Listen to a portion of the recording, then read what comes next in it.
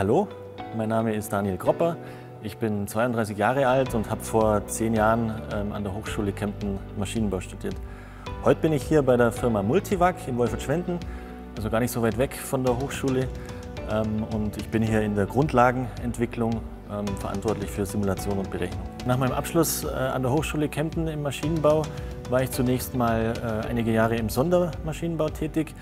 Ähm, ich war hier Entwicklungsingenieur in der Konstruktion, also eigentlich ein relativ typischer Beruf für einen Maschinenbauingenieur, ähm, wo man mit 3D-Software eben Maschinen äh, konzipiert und, und entwickelt.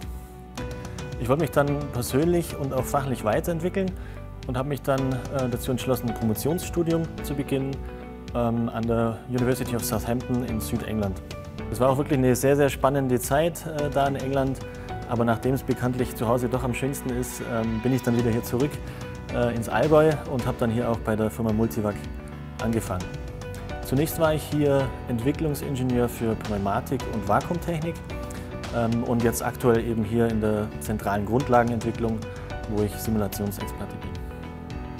Bei Multivac äh, ist meine Hauptaufgabe, unsere Anlagen und Prozesse virtuell nachzubilden, so eine Art digitalen Zwilling zu bilden, der dann verwendet wird, um unsere Prozesse besser zu verstehen und ähm, eventuell Optimierungspotenzial zu erkennen, das anderweitig nicht ans Licht gekommen wäre. Was denke ich sehr, sehr wichtig ist, ist schon auch, also kein Ingenieur, keine Ingenieurin arbeitet alleine. Ähm, man ist immer Teil von einem Team. Ähm, man muss seine Ergebnisse auch präsentieren und mit Kollegen diskutieren.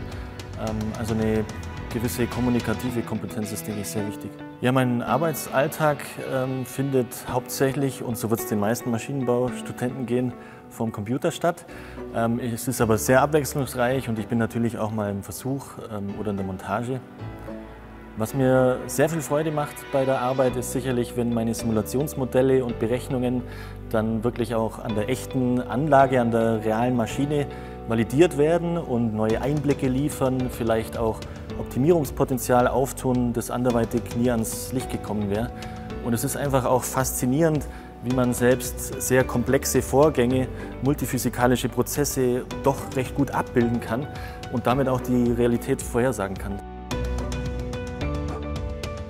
Ich bin mittlerweile auch selber Dozent an der Hochschule, wo ich Informatik unterrichte. Also ich denke, was mir persönlich wichtig ist bei der Betreuung von Studierenden ist erstens mal, dass man denen immer auf Augenhöhe begegnet. Tatsächlich ist es nämlich so, dass die besten Ideen meistens von Personen kommen, die in dem Thema gar nicht so tief drinstecken wie man selber. Zweitens ist es, denke ich, schon auch wichtig, dass man auf die individuellen Stärken des Studierenden eingeht vielleicht kann man auch das Projekt so ein kleines bisschen danach ausrichten, weil ich denke, es ist einfach so, dass was man gut kann, macht man auch gerne und was man gerne macht, führt meistens dann auch zu den besten Ergebnissen. Was denke ich aber am allerwichtigsten ist, ist einfach, dass man bereit ist, immer weiter zu lernen und immer wieder sich weiterzuentwickeln und sich an die neuen Themen anzupassen.